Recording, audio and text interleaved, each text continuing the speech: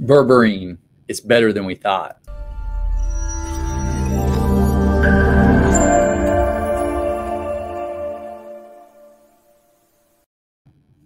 Hello and welcome to another edition of the Ask Dr. Pickel Show. And today I want to talk about berberine again. I know I've done some past videos on berberine, but uh, with an accumulation of research, I mean, it is just uh, profound um, all the information out there on berberine and, and how many benefits it can have for you. Uh, especially if you have chronic health issues, autoimmune type issues. So let's uh, let's dive right into that and uh, find out more here. So first, um, uh, there's a uh, research paper.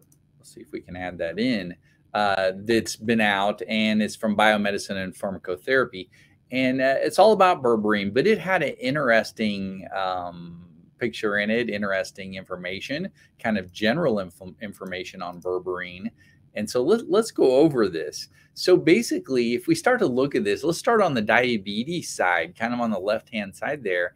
And um, so we already know that berberine, or mo- most people that, that look into this stuff, know that berberine does help with blood sugar. But here's some some basics here: increases insulin secretion, decreases insulin resistance, helps your body store and utilize blood sugar better with gluconeogenesis, increased glucose uptake, decreased inflammation. I mean, just on and on. Gut microbiota dysbiosis decrease.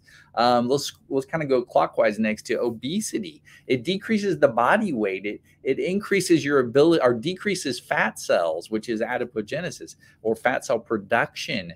Um, helps your body to maintain proper temperature and with metabolism increases energy expenditure for the right things adipose tissue fibrosis. So basically breaks down or helps to decrease uh, the scar tissue that develops around adipose tissue decreased inflammation again back to the gut and then we'll kind of continue around there. Hepatic helps prevent fatty liver basically helps decrease the amount of fats in the stool uh, decreases liver inflammation, decreases oxidative stress on the liver, helps with the gut bacteria again almost all these and then down to hyperlipidemia. As we go down a little lower there i mean decreases um, cholesterol or lipid sy- synthesis um, it helps with the um, uh, sensing of the ldls and then uh, de- increases cholesterol excretion, meaning get rid of the bad cholesterol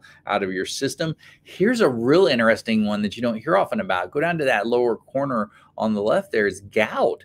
So decreases uric acid levels. Wow, decreases uric a- or increases uric acid excretion. So you get that extra uric acid through your urine and get it out of your body, um, and decreases xanthine oxidase. That's the one that goes high that they try to use the drug to block, and then decreases uh, joint inflammation. So pretty amazing stuff here. In fact, that's what I want to do is go over even more benefits of this um, amazing um, supplement that I'm um, just uh, captivated with right now. All right.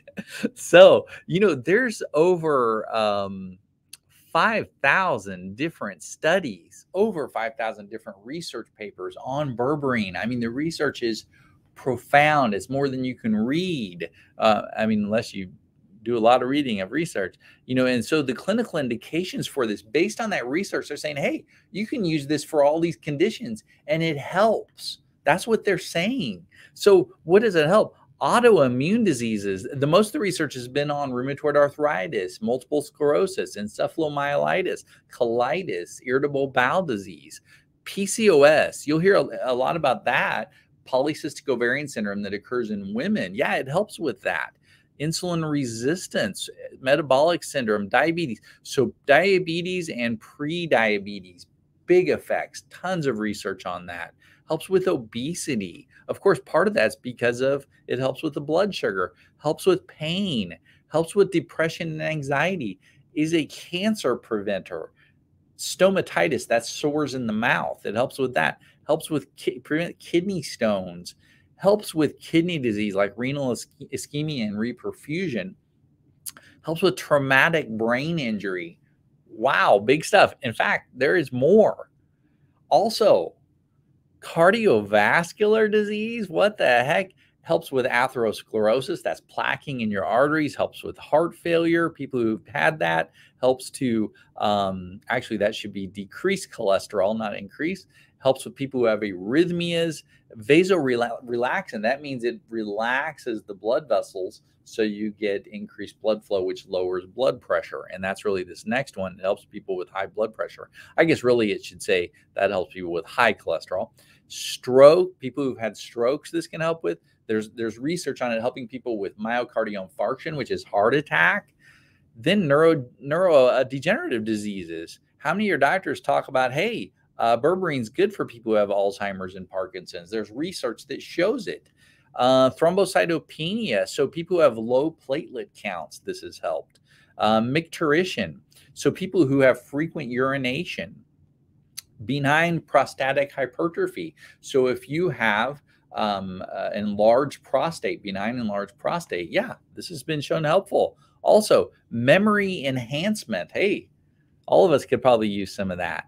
And then IBS, irritable bowel syndrome, SIBO, IBD, which is irritable bowel disease, um, constipation, diarrhea, people who suffer from that, people who have H. pylori infection, that's an infection that can occur in the stomach. It's also an antiparasitic, antiviral. It helps with leaky gut helps with liver fibrosis. So if you start to get scar tissue in your liver due to uh, hepatitis or due to alcoholism, helps with uh, GERD, gastroesophageal reflux. So if you have reflux, heartburn, indigestion, also gastric ulcers.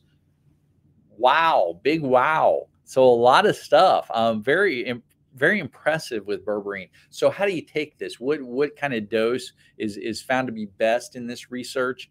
looking at about 500 milligrams two to three times per day. Now, I would say most people two times a day is plenty. Um, if you start to exceed a thousand milligrams, taking it more than three times per day, yeah, I might use that in people who have maybe uh, more chronic conditions, autoimmune conditions, maybe where I know that they need that extra, but I would only use it for a certain period of time because if you exceed a thousand milligrams for longer than three months, you may potentially get some effects of that. Now, really, the thing about it is in the research, there's really there are no serious side effects or reactions, nothing documented. But what can happen though is if you do use too high of a dose or you take a high dose for too long, could get some abdominal pain or discomfort, could get some nausea, could get some constipation, could get some flu-like symptoms. But I the only one I've really ever seen is people maybe get a little nauseated if they get too much. But then you know you can adjust adjust the dose. Everybody's body's different. Everybody needs a little different amount. I would tend to start off low and always, of course, ask your doctor before you start taking anything. But definitely, um, great stuff here with the the berberine. Very exciting. I just wanted to report that to you so you know the benefits. Know that this is a supplement that could really um, have tremendous benefits with most people. So, uh, all right. And, and not only that, but shown in over 5,000 plus research studies. How can doctors ignore that? I can't. All right. Well, hopefully you enjoyed this today. Have a wonderful day and God bless. I'll see you next time.